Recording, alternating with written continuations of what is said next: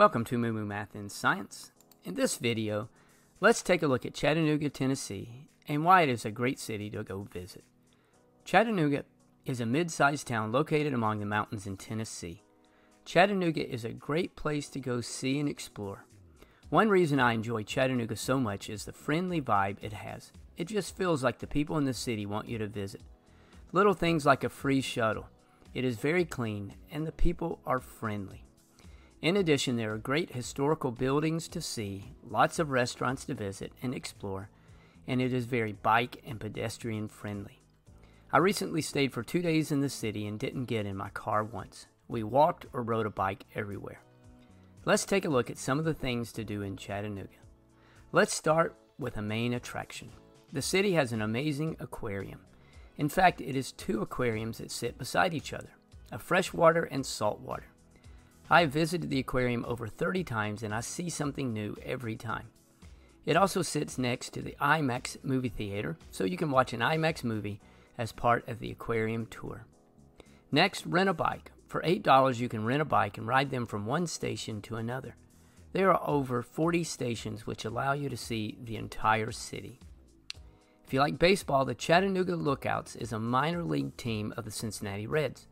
They play from April to early September in a very relaxed and beautiful atmosphere. If you have younger children, they will love the Creative Discovery Museum. The museum contains art, music, and science areas, along with a water themed zone called River Play and a rooftop exhibit, along with an inventor's workshop. I like to walk and run, especially around cities. The River Walk downtown runs next to the river for over 13 miles. You can also take a riverboat tour. The Southern Belle has sightseeing tours and daily tours. You can also walk across the Walnut Street Bridge. The bridge was built in 1890, but now only allows bike and foot traffic. Once you cross the bridge, you can go to Coolidge Park. The park has large fields, a carousel, and lots of open fields where you can play frisbee, grab a bite to eat, or just relax. I always like a good zoo, so you can go to the Chattanooga Zoo. It is located inside the Warner Park.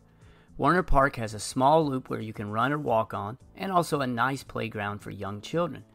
The zoo is growing, and I saw lots of excited children. The zoo has a nice petting area for younger children. There are lots of places to get a snack around Chattanooga, like the Cupcake Bakery. I don't have any affiliation with the Cupcake Bakery, I just like their cupcakes. Or you can even see a movie in the city if the weather turns nasty. In addition, you can drive 15 to 20 minutes to Raccoon Mountain, where you can go for a hike, visit caverns, or you could go visit Lookout Mountain. If you'd like to know more about Chattanooga, this playlist will help. And as always, Thanks for watching, and Moo Moo Math uploads a new math and science video every day. Please subscribe and share.